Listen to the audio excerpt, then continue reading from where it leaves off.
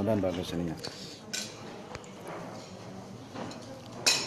Assalamualaikum warahmatullahi wabarakatuh teman-teman sekalian uh, selamat pagi dari Sofia Bulgaria saya Dr. Rizal dari arena Second Propolis Conference di Bulgaria kali ini kita akan wawancara pakar teman-teman Alhamdulillah saya bertemu dengan salah satu pakar propolis dari Indonesia yang juga hadir di Bulgaria ini dan luar biasa beliau sudah sangat banyak meneliti tentang propolis. Nah, kemarin ada satu yang sangat menarik karena ini sangat applicable sekali dan sangat dibutuhkan uh, buat kita di Indonesia, teman-teman ya.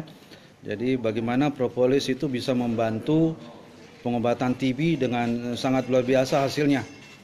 Uh, di samping saya sudah ada Prof Ahmad. Jadi ya Prof Ahmad ini dari uh, IPB, teman-teman ya beliau bersama beberapa rekan-rekan dari ITB, IPB menurut saya, yang juga para peneliti-peneliti. Oke, okay, uh, eh, selanjutnya saya akan arahkan ke beliau kameranya.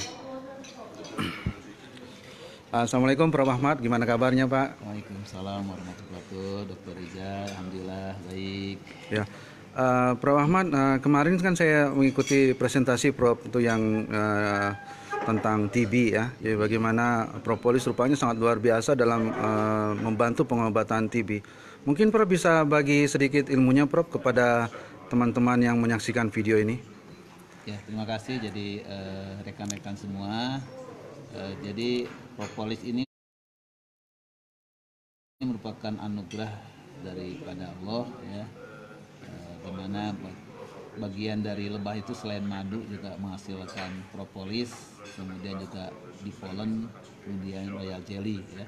Nah, eh, ternyata penambahan atau penggunaan atau pemberian propolis, ekstrak propolis pada penderita tuberkulosis khususnya eh, TB paru ya, di samping yang bersangkutan yang pasien ini eh, meng, eh, mendapat pengobatan yang memang sudah uh, rutin sesuai SOP Kementerian uh, Kesehatan yaitu selama enam bulan ada pengobatan menggunakan limpampisin, isodiazid, uh, streptomycin dan etambutol.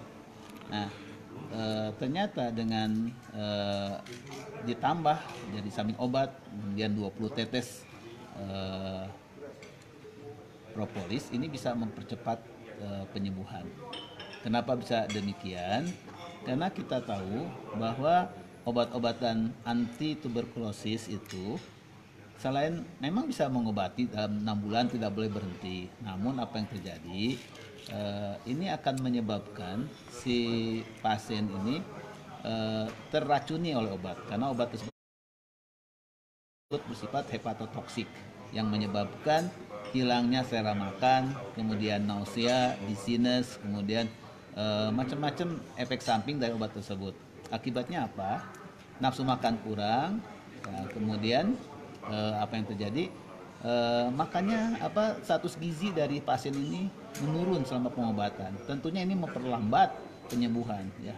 Nah, tapi dengan e, propolis ya, ternyata propolis selain bersifat antibakterium, ya, antimikobakterium, jadi bisa uh, me, mengurangi atau melawan bakteri Mycobacterium tuberculosis juga dia bersifat hepatoprotektif. Itu dia bisa mengembalikan eh, apa mengembalikan nafsu makan karena memperbaiki hati ya. Jadi eh, biasanya eh, kalau eh, tanpa dengan propolis selama enam bulan ya dia akan mengalami penurunan berat badan setelah enam bulan baru kembali ke semula gitu Nah ini penurunan berat badan kalau dari awal sudah dengan uh, obat dan propolis dia tidak akan mengalami penurunan berat badan. Dan uh, indikator bahwa uh, bakteri sudah tidak ada lagi itu adalah dilihat dari namanya acid resistant uh, bakteria.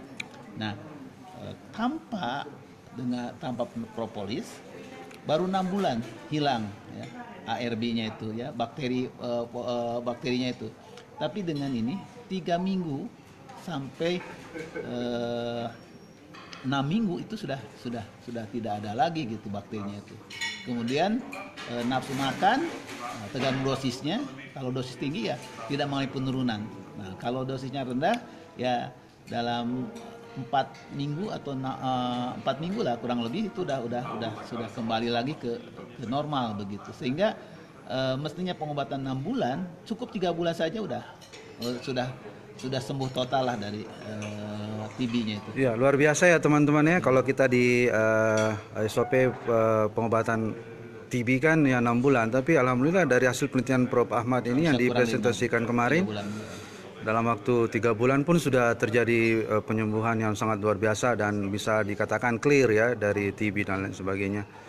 Jadi, luar biasa teman-teman. eh, tetap semangat ya siapa pun menyaksikan video ini. Teman-teman para member Melia Sehat Sejahtera teman-teman konsumen propolis tetap semangat.